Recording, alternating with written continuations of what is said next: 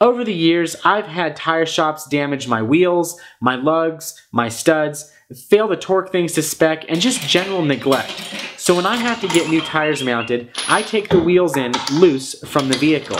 That way, no one is interacting with my car except for me. In the long run, this can also save you money and it can get you in and out of the tire shop even faster. These are the top 10 things that I suggest to do when getting new tires mounted to loose wheels.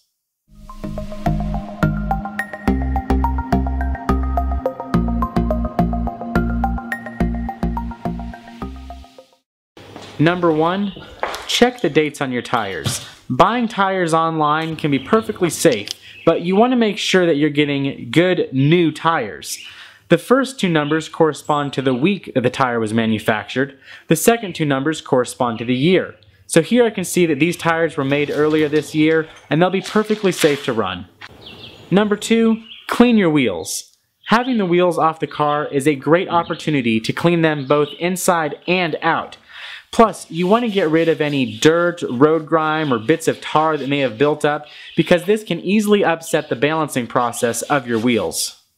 Number three, inspect your wheels. After you've cleaned them, it's a great chance to inspect them for any bends or cracks. Number four, remove your wheel weights. The wheel weights have to get removed regardless, and a tire shop is likely to just use a flathead screwdriver, risking scratching the inside of your wheels, plus they'll never clean away all the old sticky residue. Use a plastic bone tool to pull the weights off, and then use some Goo Gone or WD-40 to clean away that sticky goo. Number 5. Remove your center caps. The center caps have to come out when they balance the wheel, so you might as well take them out and leave them at home.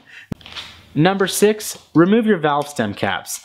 Especially if you have specialty caps, you don't want to lose these. And most tire shops are going to give you new valve stem caps anyway. Number seven, inspect your car. While the wheels are off, it's a great opportunity to check the suspension, any axles, the brakes, brake lines, see if there's any rubbing.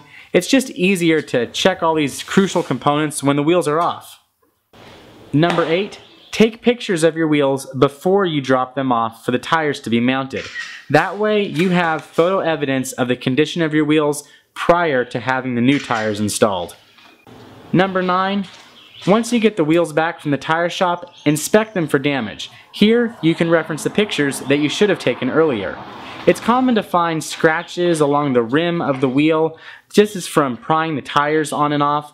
Also check the face of the wheel because some mounting machines have large clamps that rest against the face of the wheel and this can scratch it as well.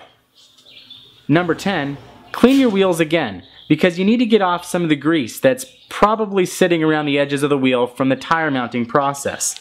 This is also a great opportunity to apply a wax or ceramic coating without getting any overspray on your brakes and that'll make cleaning the wheels in the future a lot easier. Bonus, once you've put your wheels on and torqued all the lugs to spec, go for a quick drive.